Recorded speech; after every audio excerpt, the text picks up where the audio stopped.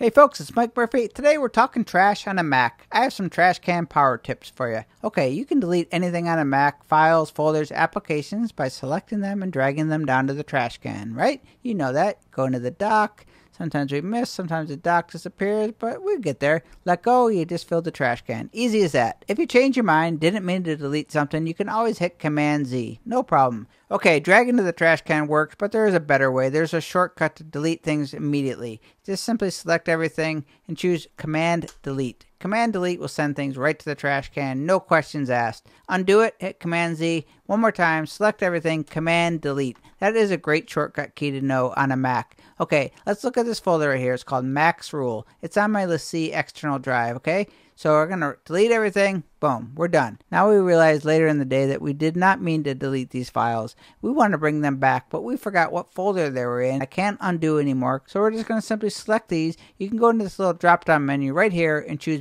Put Back. But how do we put it in here? Remember the shortcut key, Command Delete hit Command Delete while it's in the trash can, and boom, it's going to put everything right back into the original folder. Pretty cool. Select everything, delete it, it's in the trash can. To undelete it later in the day, whenever, hit Command Delete, or use this menu right here, put back, same thing, hit Command Delete, it'll bring it right back to that original file.